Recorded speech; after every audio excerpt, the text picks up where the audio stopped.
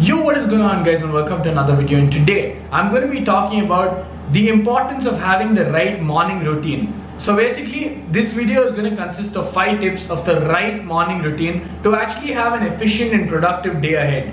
So basically you know those days where you wake up in the morning and you don't feel like doing anything and everything goes wrong and the day is actually bad. So sometimes that happens because you don't have the right morning routine. Most of the time that's the reason that your day gets ruined. So in today's video, I'm going to be talking about five tips where that doesn't happen so you can prevent spoiling your entire day because of a few mistakes you made in the morning. So the first habit you have to follow every single day is wake up at the same time every day. So basically you have to start learning to go to bed at a particular time and wake up at the same time. So you're going to spoil the cycle if you don't make it a habit. Wake up at one time every single day. You have to go to bed at the same time every single day and you have to wake up at the same time every day. So the time can be fixed by you but it shouldn't cross like 12 a.m. because that is a little late to go to bed. So like the time can be set by you falling asleep during the night and actually getting a good night's sleep is very important.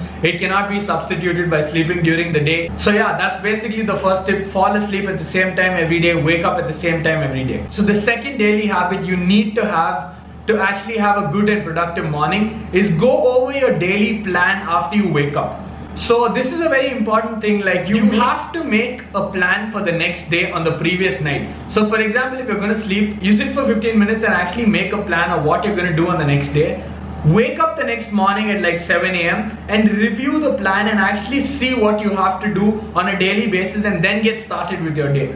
So there was a time in my life where I just used to wake up in the morning, I used to just rest, I used to do whatever I wanted to do and I used to waste a lot of time. So do not do that because it's to spoil your day, you're to reduce the efficiency, you're to waste a lot of time if you end up doing that. So make sure you're going over your schedule once in the morning and actually planning out your day like 7 a.m. I'm to go brush, take a shot, get to breakfast by 8.30 and then go to work and then start working and you have to attend the video call for the day, all of that. And then you have to go to workout at like 11 a.m. You have to make sure you're reviewing your entire schedule so that you don't miss out on anything and so that you're actually doing what you have to do at the right time and not missing out on your day because you were, because you were unprepared. Because obviously you don't want to lose out on something because you were not prepared enough for the day, right? So make sure you're actually going through your schedule, prepare in advance and it's obviously going to do better for you. So the third daily habit I personally follow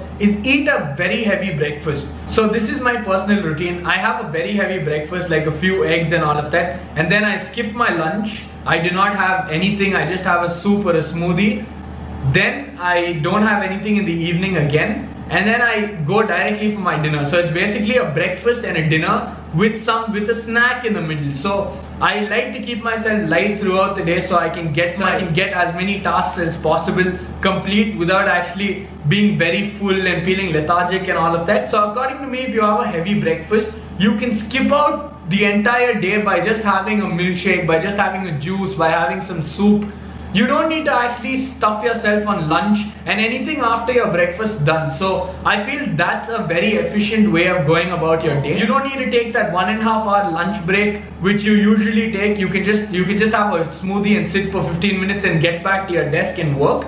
So your day is more efficient that way. You don't feel too hungry because you did have a very heavy breakfast and you are having a smoothie and you are gonna have your dinner earlier so that's another good thing because if you do have your dinner earlier, you can go to bed earlier and you'll feel light while you're going to your, while you're going to sleep and you don't actually feel too heavy. Honestly, have a heavy breakfast have a very very light lunch and have a decent dinner. I'm not asking you to have a heavy dinner have a decent dinner. Honestly you should try this out because if it does work you can make it your daily habit to do this because it has worked for me. I tried it out for a week and i actually loved it to the point that I didn't even have lunch today. I'm recording this video at like 4 p.m. and I haven't had lunch even today. So yeah, that's how I go about my day. So the fourth daily habit you have to follow to have a productive day is workout in the morning. I have spoken about this before and honestly working out in the evening is not as efficient as working out in the morning. So I used to work out a lot in the evening In fact, I still work out in the evening at times, but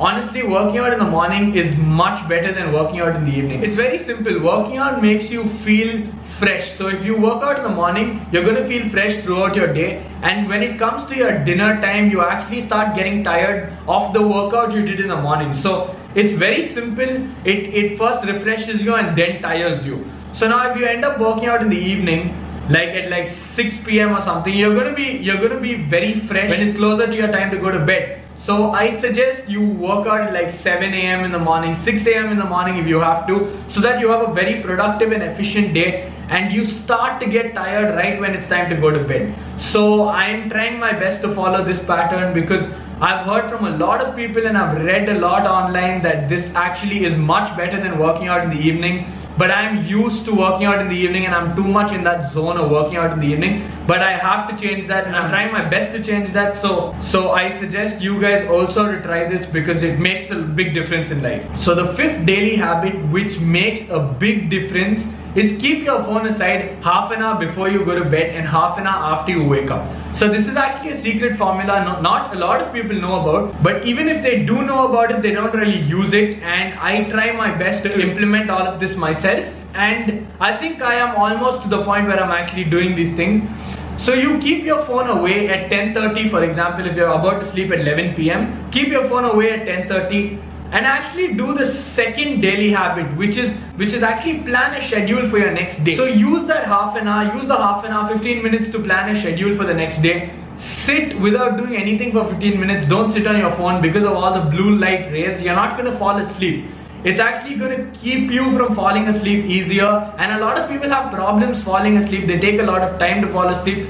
And honestly the only cause of that is you using the phone so keep your phone away in the night, have a nice peace of mind, do your own thing, make a schedule for the next day, think about what you have to do, think about all the plans you have for the next day, think about all the good times you had that day. And yeah, basically go to bed without your phone, keep your phone aside for half an hour and when you wake up in the morning do the same thing. Go over your schedule. Go over your schedule for that day but don't use your phone for at least half an hour for a minimum of half an hour. If you can keep it away for longer than that great. Do not touch your phone at least for half an hour. You're going to feel a lot fresher and a lot more productive because when you open social media the first thing you want to avoid in the morning is look at somebody else's life and look at what they're doing. So there's only one thing that can happen that it's gonna have a negative impact in your life because if you see somebody going for that dream vacation you wanted to go for. Even during these times it's just going to be negative for you and going to cause a negative effect on you.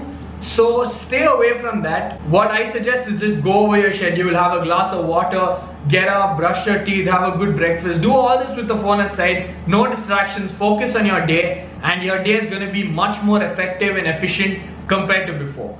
I want you guys to try all of these five daily habits and daily tips and let me know down in the comments how it works. Try for like two days if you're not able to go for too long, try it for two days and let me know down in the comments how this actually works for you. And if this video did help you, make sure to leave a like and subscribe. Also, my social media handles are in the description, Instagram and all of that, where I actually post motivational reels and a lot of other content. So make sure to follow me down there as well. And that's about it for today's video. Make sure you're following all of these daily habits and it is going to make a change in your life and it's going to make a positive change in your life. Thank you guys so much and peace out.